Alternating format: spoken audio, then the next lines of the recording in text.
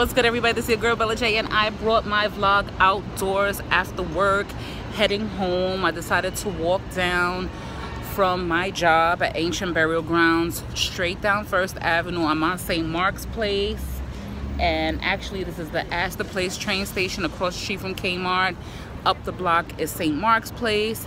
Let's just say I'm on Broadway somewhere. I know the Village Voice office is around here. I know there's a big um, area where they do crafting at as well that building there's a lot of things held at that building. And this is fairly new because over here used to be an office building with a Starbucks. Go figure. So now I'm here and I wanted to come to you and let you know you just saw this opening. My time lapse and it ended with people coming in and out the train station and everything surrounding it. Isn't that like being a content creator here on YouTube? You have so many ideas floating around you right? And a lot of ideas get done right? You you work them out you videotape them they get stored in but what actually comes out and actually is published to the public for all to see. That's kind of what it is as a creator, as a content creator. It's not easy. Um, and I'm gonna post the link below because I was trying to look for a sewing challenge and I found the blog thanks to Sharon V, the Bronx Knitter. I'm gonna post her video channel link below and she told me there's a lot of sewing blogs out there. So I went ahead researching this, found some, and I came across the Daily Sew. Yes. And she created the 20 minute challenge. Basically, for 30 days, you have to sew 20 minutes a day. Doesn't matter what time. It's not a matter what, what you create. It's not a matter of perfection. The whole key is to sew for 20 minutes and not sew with an objection. Oh my gosh, I have to do this. No. Whether or not it gets published or you could blog about it or put it up as a video, it is 20 minutes of sewing. You have to challenge yourself for 20 minutes a day to sew. She did this for 30 days. She said one November, I'm not sure if this was the recent past November, she sewed, she was short four days. So for 26 days, she was sewing and she missed out on four days.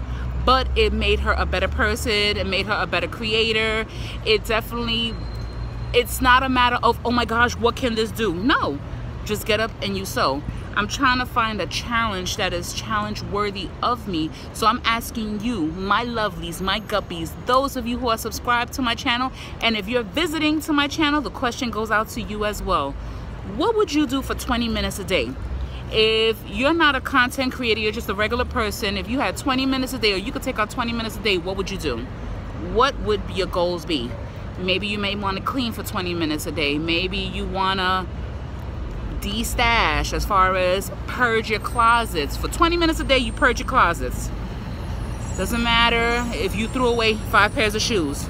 Within 20 minutes, you threw away five pairs of shoes.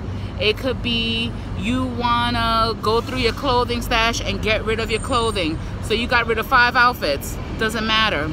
Whether you knit, crochet, sew, embroider, quilt, uh, uh,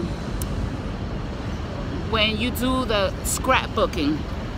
20 minutes a day but the sewing challenge sewing for 20 minutes a day I think that would be a great challenge for me. I am trying to find the courage to do this. 20 minutes a day. The challenge is trying to put that up on YouTube. I think no there's not a matter of I think I'm not sure. I'm not sure whether I should take it live and do a live feed for 20 minutes showing what I'm making whatever it is that way, some feeds are, are live and others are not, but I would say I don't want it to be I don't know. There, I'm, I'm, really kind of confused about it, but I'm going to post a link to that blog post about the 20 minute challenge. And she challenged, uh, she's saying if you want to take on that challenge or create your own challenge. I want to create my own sewing challenge because I looked on here on YouTube and there was none.